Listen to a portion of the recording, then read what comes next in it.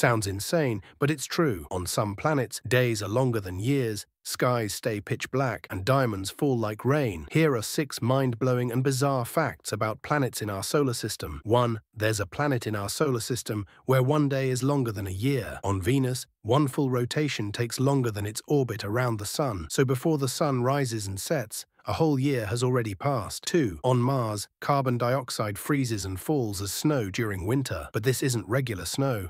It's dry ice snow, made of frozen CO2, not water. 3. Jupiter doesn't have a solid surface. Being a gas giant, there's no place to land.